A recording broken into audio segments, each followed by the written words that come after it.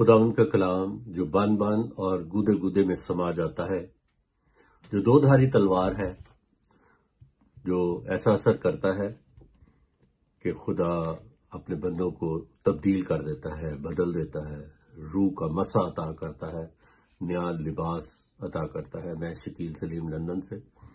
आज आपके सामने मुकाशवा बीस बात की तलावत करने को हूँ। कराम मुकदस में यूँ मरकूम है। फिर मैंने एक फरिश्ते को आसमान से उतरते देखा, जिसके हाथ में अथा गड़े की कुंजी और एक बड़ी जंजीर थी।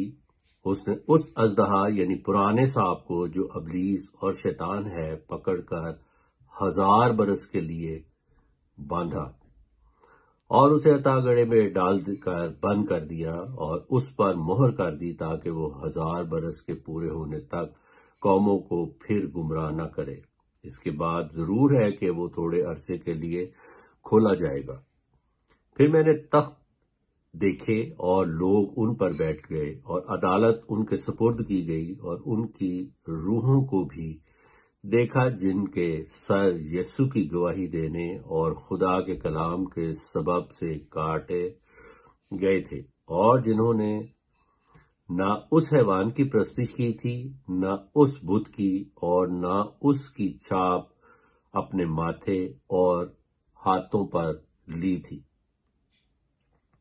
वो ज़िंदा होकर हज़ार बरस तक मसीह के साथ बादशाही करते रहे और जब तक ये हज़ार बरस पूरे न हो लिए, बाकी मुर्दे ज़िंदा न हुए। पहली क्यामत यही है, मुबारक। और मुकद्दस वो है जो पहली क्यामत में शरीक हो। ऐसों पर दूसरी मौत का कुछ इख्तियार नहीं, बल्कि वो खुदा और मसीह के काहिन होंगे और उसके साथ हज़ार बरस तक बादशाही करेंगे। और जब हज़ार बरस पूरे हुए, हो चुके तो शैतान कैद से छोड़ दिया जाएगा और उन कौमों को जो ज़मीन की चारों तरफ़ होंगी, यानी जूज और माजूज को गुमराह करके लड़ाई के लिए जमा करने को निकलेगा। उनका शुमार समंदर की रेत के बराबर होगा और वो तमाम ज़मीन पर फैल जाएँगी और मुकदसों की लश्करगाह और अज़ीज़ शहर को चारों तरफ़ से घेर लेंगी और आसमान पर से आग नाजिल होकर उन्हें खा जाएगी। और उनका गुमराह करने वाला बलीज आग और गंदक की उस सील में डाल दिया जाएगा जहाँ वो हैवान और झूठा नबी भी होगा और वो रात दिन अब्दुलाबाद अजाब में रहेंगे। फिर मैंने एक बड़ा सफ़ेद तख्त और उसको उस पर बैठे हुए देखा, जिसके सामने से ज़मीन और आसमान भाग गए और उन्हें कहीं जगह न मिली। फिर मैंने छोटे बड़े सब मुर्दों को उस तख्त के सामने खड़े हुए देखा और किताबें खोली गई। फिर एक और किताब खोली गई, यानी किताब हयात।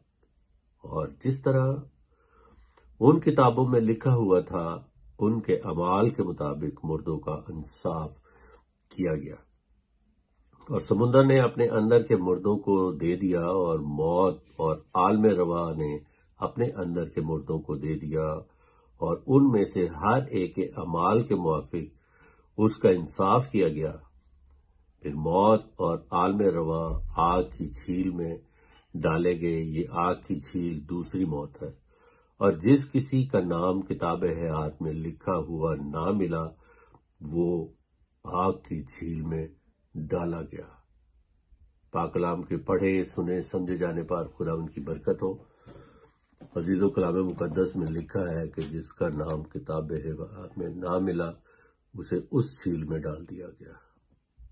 ज़रूर है कि हम खुदावंद के पास आए, अपने आप को खाली करें पाकरू का मसा लें और इस कलाम को दूसरों तक पहुंचाएँ, दूसरों तक पहुँचाने का वसीला बने। हम शुक्रगुजार हैं अपनी बहन का, जिन्होंने ये प्लेटफॉर्म मुहैया किया हमें और हम इस पर बातचीत कर सकते हैं और खुदावंद के कलाम की अशायद के लिए इसे इस्तेमाल कर सकते हैं।